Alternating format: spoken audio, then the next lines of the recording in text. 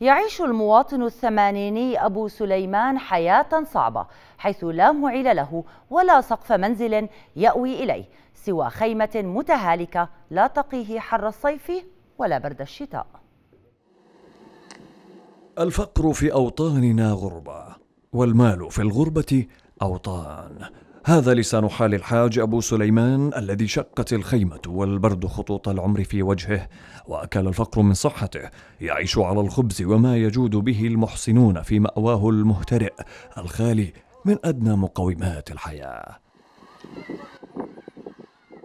لم تشفع له الثمانون عاما أمام أبواب وزارة التنمية الاجتماعية. عندما ذهب إليها يطالب المساعدة ورجع خائبا يجر شيبه وكسرة قلبه.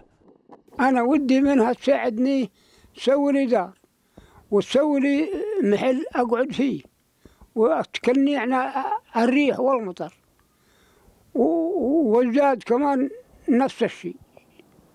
أي نعم الزاد كمان نفس الشيء.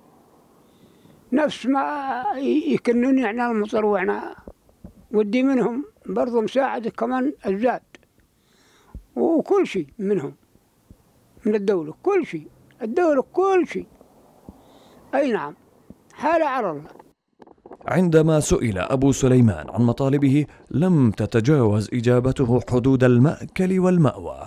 التي هي حق ومن أساسيات حياة أي إنسان. حال أبو سليمان يمثل كثيرا من القصص المختبئة وراء الجدران والتي يقتلها الفقر والعوز والتعفف. والسؤال هنا متى يموت الفقر في أوطاننا؟ هل بيجيبوه الجواد لي؟ باكل منه. ما جابوا شيء. بنظل جنديل.